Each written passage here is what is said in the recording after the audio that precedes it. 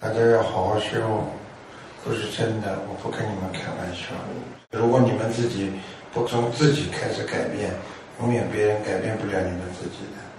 所以修心是真修，是自己靠自己这么修出来的。所以你不努力的话，你自己吃苦头。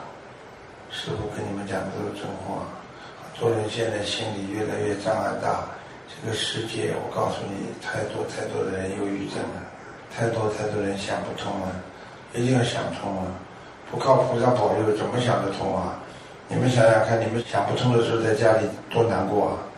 开玩笑了，根本没有自己自控能力的。发疯的时候，发神经病的时候，你们控制得住自己了？哪控制住自己啊？所以完全要靠着菩萨的力量啊！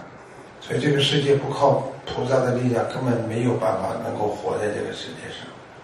人太可怜，就像我们自己是中学生，我们做不出中学生的作业一样的，只有大学生才能做中学生作业，只有菩萨才能做人的那个作业。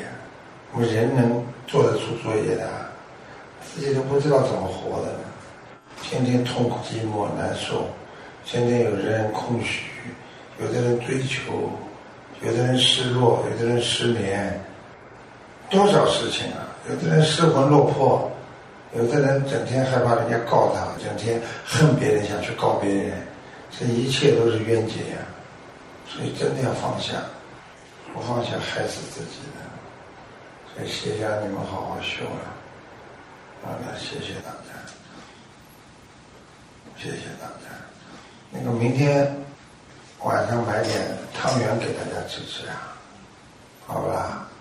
蛋糕呢，好久不买了，啊，给大家吃吃。他们海外来的很多人，你们要照顾人家海外的人。不够的话，我们再去想办法，再弄点吃的不就好了？好吧？好了，谢谢大家。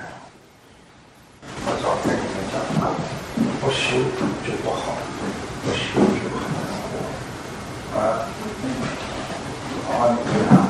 现在你看，不好好修就害自己，害死自己。一个人，很多人就在迷茫当中嘛，死掉了，躺在医院里，就他们抬不起头来了。